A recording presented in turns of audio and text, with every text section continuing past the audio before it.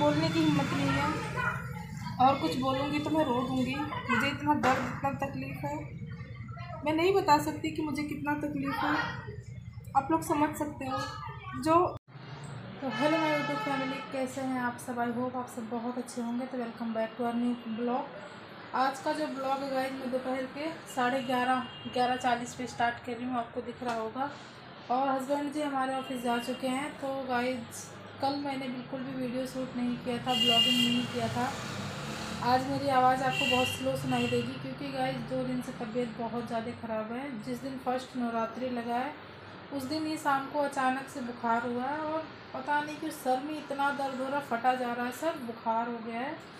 तो अभी गाइज़ हम लोग हॉस्पिटल से आ रहे हैं। तो चेकअप वगैरह मैंने कल करवा लिया था, कल भी हम गए थे हॉस्पिटल तो चेकअप वगैरह करवा लिया था, जैसे होता है ना कोई दिक्कत ना हो जाए, डेंगू फेंगू बहुत चल रहे हैं आजकल तो वो सब करवा के आ गए थे गाइज़ तो आज हमें रिपोर्ट मिल गया है गाइज़ रिपोर्ट ये है हमारा।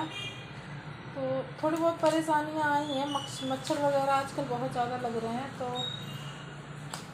ये है रिपोर्ट मतलब मैं खुद नहीं समझती तो मैं आपको क्या दिखाऊँ।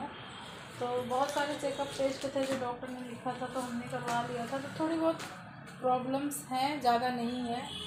तो दवाई दे दिया उन्होंने, बोला एक हफ़्ते दवाई खाओ, सही हो जाओगे। तो गाई सच में मुझे तीन दिन से इतनी ठंडी लग रही थी, सर्दी लग रही थी। ऐसे लग रहा था जैसे मैं कितना तेज़ बीमार होने वाली हूँ, और वही हुआ मेरे साथ, मैं बीमार हो गई। मुझे जब जब लगता है ना कि मैं बीमार होने वाली हूँ, सच में मैं हो जाती हूँ बीमार। तो यही सब है बोलने में वीकनेस हो रही है। घर गैस घर की हालत ऐसे तहस नहस हुई है ना, मैं क्या ही बताऊँ, तीन दिन से मैंने कोई काम कुछ भी नहीं किया यार, बस वही खाना खाना भी थोड़ा बहुत बना लेती हूँ। हिम्मत ही नहीं होती वीकनेस बहुत ज़्यादा हो रही है। तो मैं दिखाती हूँ मेरे घर की स्थिति। तो घर की हालत देख रहे हो गाय जितनी गंदी पड़ी हुई है। हिम्मत ही नहीं हो रही कि कुछ कर लूँ। पूजा पाठ तो खैर जैसे तैसे कर लेती हूँ। माता रानी की चौकी लगाई है तो ये सब भी करना ज़रूरी है। ये सब तो हो जाता है। बाकी और सच में कुछ करने की हिम्मत नहीं है। बेड वगैरह की हालत देख लो। बहुत मतलब क्या बताऊँ। दो दिन से सुबह खाना नहीं बन पा रहा है कल भी सुबह हम लोग सात, साढ़े सात, आठ बजे निकल गए थे टेस्ट वगैरह करवाना था, खाली पेट मतलब था तो वो सब करवाना था तो उसमें सुबह सुबह चले गए तो आते वक्त बारह, एक बज गए, एक बज गए थे तो खाना वाना लेके आ गए थे। आज तो हिम्मत ही नहीं हो रही है तो हस्बैंड जी ने अपना खाना पार्सल करवा के पैक करके लेके चले गए हैं, और मैं मतलब मेरे लिए खाना यहाँ पे रख गए हैं। तो जब मुझे भूख लगेगी गाइस मैं खा लूँगी तो इसे मैं फ्रिज में रख देती हूँ अभी। तो चलते हैं। रेस्ट करती हूँ गाइज़ क्योंकि सच में और हिम्मत नहीं है कुछ करने की। तो यही सब है। आज का ब्लॉग भी ज़्यादा लंबा सूट नहीं कर पाऊँगी। हिम्मत ही नहीं हो रही है फिर। तो गाइज़ शाम के बज गए हैं साढ़े चार और मैं बालकनी में खड़ी हूँ। अभी तबीयत मेरी थोड़ी सी ठीक लग रही है तो मैंने सोचा थोड़ा सा टहल लूँ। लेटे लेटे ना और भी बीमारियाँ पनप जाती हैं। तो यहाँ काफ़ी ज़्यादा शोर हो रहा है, मेरी आवाज़ भी नहीं आएगी आपको। तो मैं नीचे का व्यू दिखाती हूँ। तो ये है गाइज़ नीचे का व्यू। यहाँ पे आया है गोभी वाला, जो कि काफ़ी ज़्यादा शोर मचा रहा है। तीस रुपए किलो गोभी दे रहा है तो कोई भी आते जाते रास्ते में ले रहा है। और आज का मौसम जो है गाइज़ रात में बारिश हुई थी और बादल अभी भी बहुत ज़्यादा है, आपको दिख रहा होगा। बहुत बादल बादल। इतना ठंडा मौसम हो गया है कि क्या ही बताएँ। हवा तो आज कुछ बंद है। रात में इतनी तेज़ आनी तूफ़ान आया, आया था। रात में बारिश भी हुई थी। अभी भी आप देख सकते हो सड़क के किनारे किनारे सीलन है। तो हमारे गली की सड़क गाइज़ अभी तक नहीं बनी।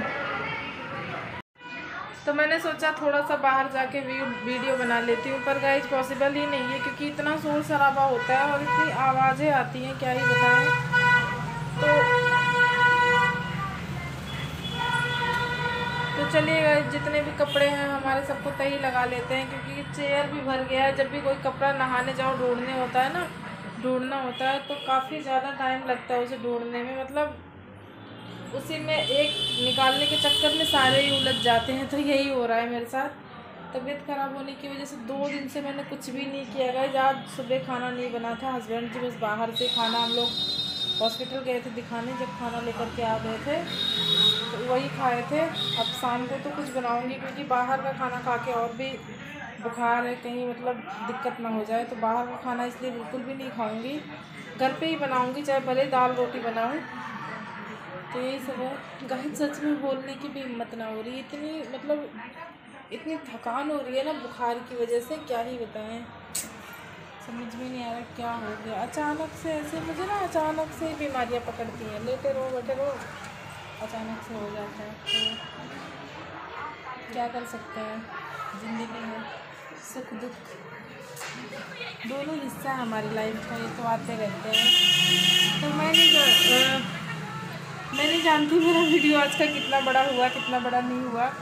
बट मैं इससे ज़्यादा नहीं बोल पाऊँगी गाइज़ क्योंकि मेरे अंदर हिम्मत नहीं है। और मैं हंसती हूँ। तो आपको लगता है मतलब मुझे कोई गम, कोई दर्द नहीं है, पर या तो मेरे भगवान जानते हैं, या तो मैं जानती हूँ कि सच में मुझे कितनी तकलीफ़, कितना दर्द होता है। नहीं बता सकती मैं आपसे। कोई नहीं है मतलब जो ये पूछे कि हाँ तुम कैसी हो? कितना बुरा लगता है ना, सबके लिए इतना करने के बाद भी। अगर कोई एक शब्द ना पूछे हमारी बीमारियों में कि तुम कैसी हो? तुम्हें क्या हुआ था? बहुत बुरा लगता है ना? तो मैं तो बस इतना जानती हूँ कि मुझे पति नहीं, देवता मिले हैं, जो मतलब मेरी बहुत केयर करते हैं गाइज़ मैं, मैंने सपने में भी नहीं सोचा था कि वो मुझे इतना मतलब प्यार, सम्मान, इज़्ज़त ये चीज़ें देंगे। सच में, मैं अगर इन्हें दिन रात इनकी कितनी भी वो कर लूँ ना तो मैं इनके इतना नहीं कर पाऊँगी जितना ये मेरे लिए कर देते हैं। तो मेरे पास तो शब्द ही नहीं है इनके बारे में, मैं कुछ बोलूँ, कुछ कहूँ। तो सच में ये एक चीज़ के लिए तो मैं कहूँगी कि हाँ मेरी किस्मत बहुत अच्छी है कि मुझे ऐसे हस्बैंड मिले और बाकी चीज़ों में नहीं कहूँगी कि मेरी किस्मत अच्छी है, क्योंकि मैं बहुत दुखी रहती हूँ। मैं जानती हूँ, मेरा दिल जानता है और कोई नहीं जानेगा। लेकिन बस ऊपर वाले का शुक्र है कि मुझे ऐसे हस्बैंड मिले ऐसे पति मिले जो मेरी इतनी केयर करते हैं।